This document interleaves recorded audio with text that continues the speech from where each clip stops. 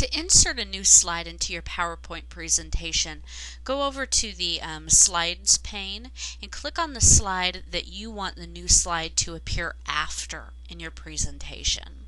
So I'm going to click on my second one because I want it my, my new slide to become number three.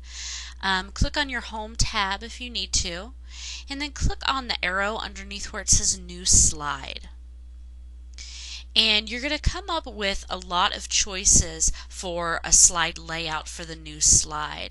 And you could scroll down to view these different choices. Um, when you have a have decided what type of slide that you want go ahead and click on it and it will insert that slide um, after the slide that we had selected. And now we could go ahead and add any pictures or text to that slide